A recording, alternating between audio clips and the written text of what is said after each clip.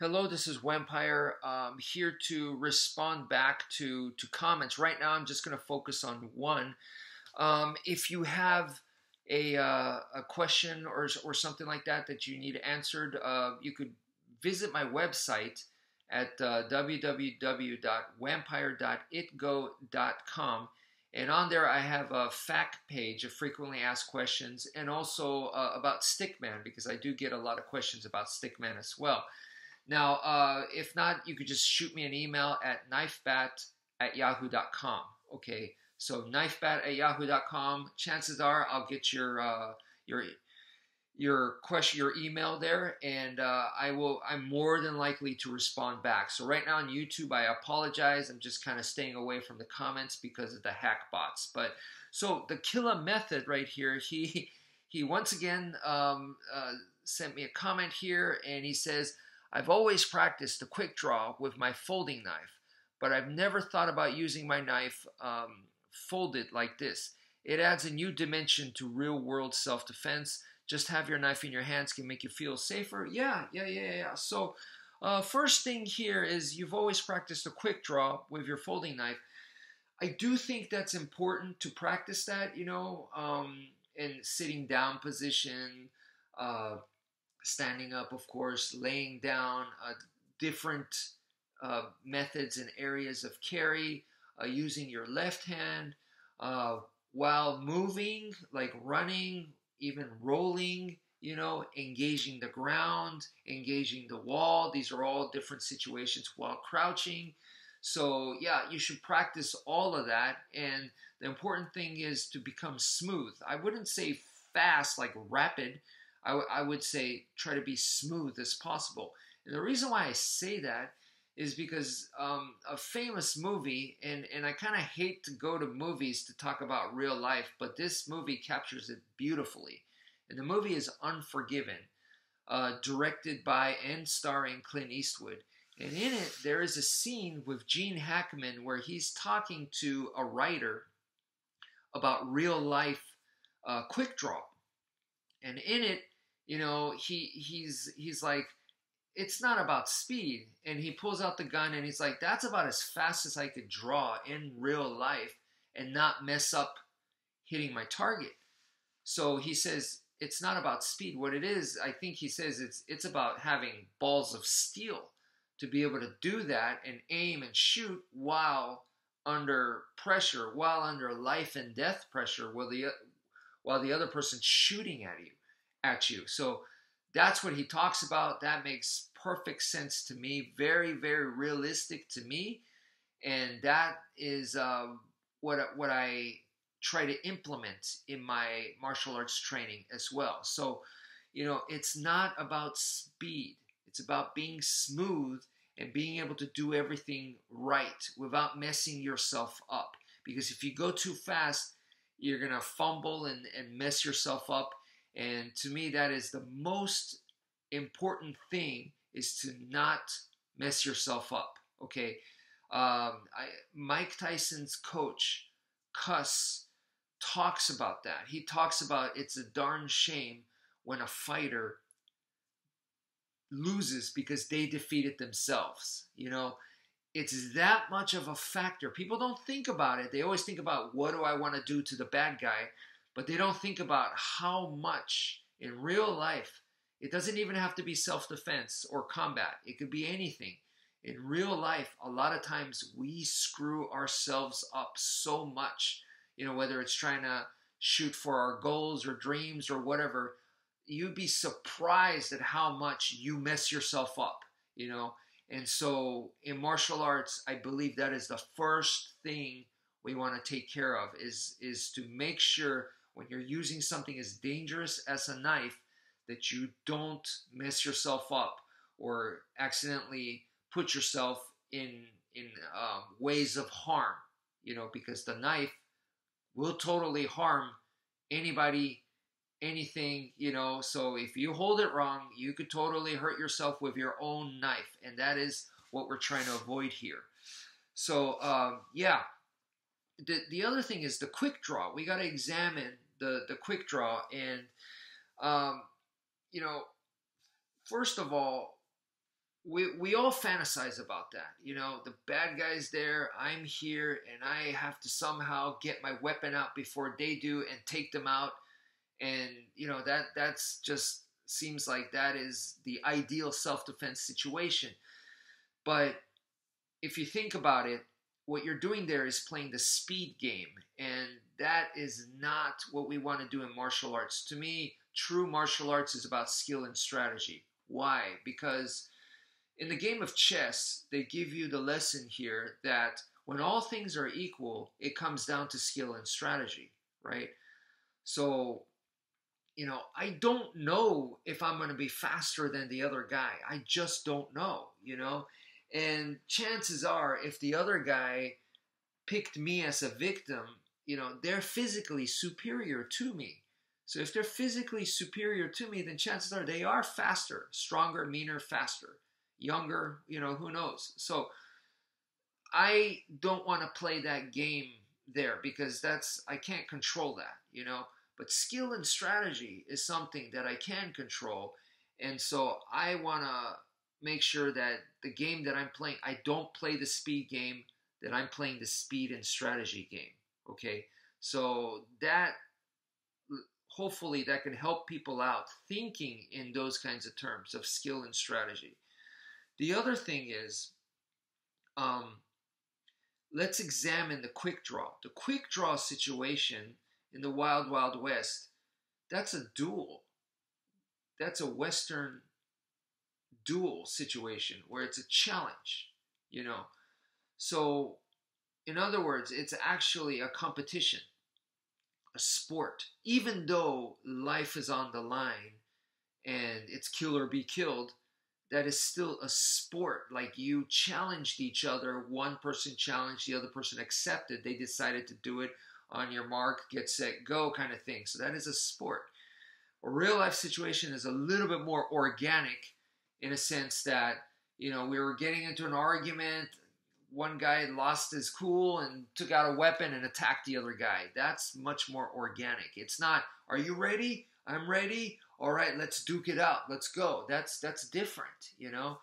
So in a in a real life situation, you know, because it's not a duel essentially, you know, the speed game once again is not as applicable as most people think.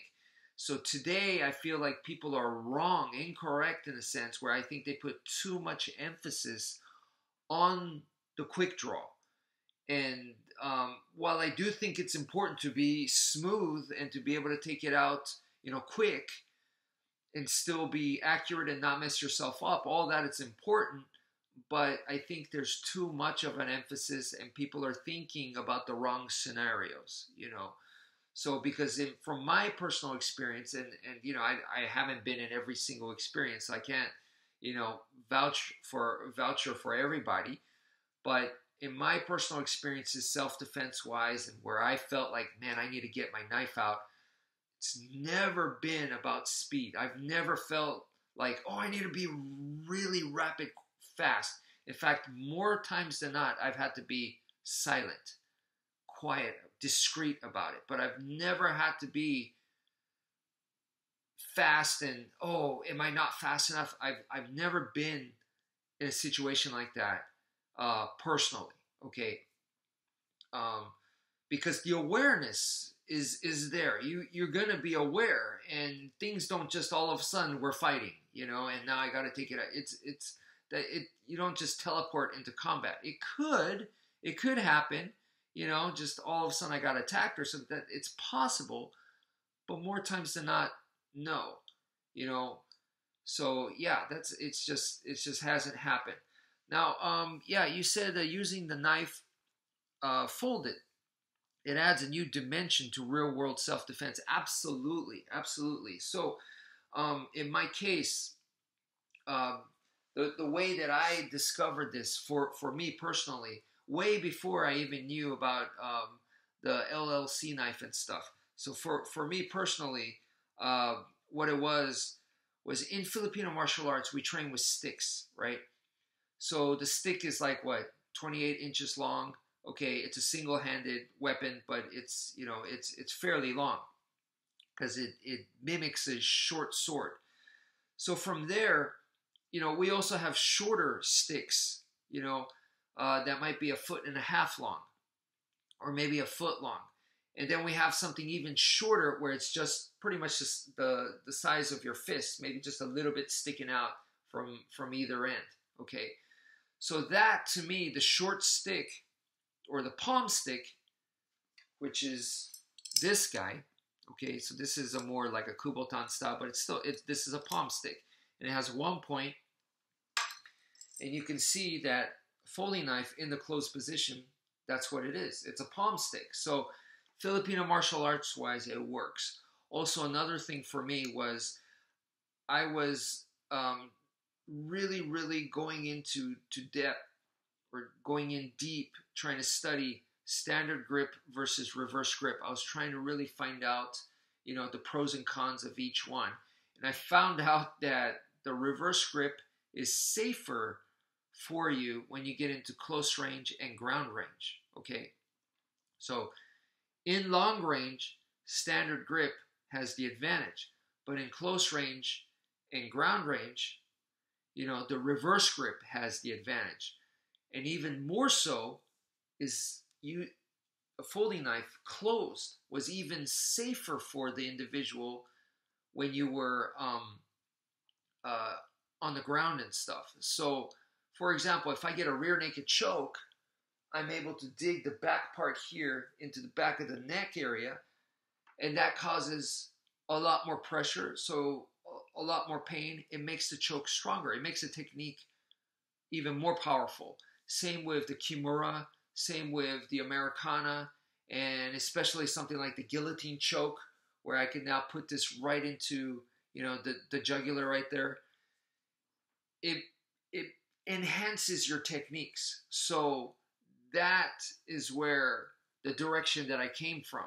And then when I saw this one right here, the LLC knife, um, it blew me away. It absolutely blew me away because now when you look at this, you know, when I saw, you know, I, I understood that the folding knife closed is this. But then when I saw this, yeah, not only is it a folding knife, it was like this on steroids. And the reason why I say that is because this one has this one point here. Like I said, in Filipino martial arts, the traditional palm stick has here and here. You know, not saying that you can't with this, but this is flat, right? So there would be two points here and here for the traditional uh, Filipino uh, palm stick. This one has here, here, and then even this one right here. So that's three plus the ramp. So that's why I was like, man, this is like a palm stick on steroids.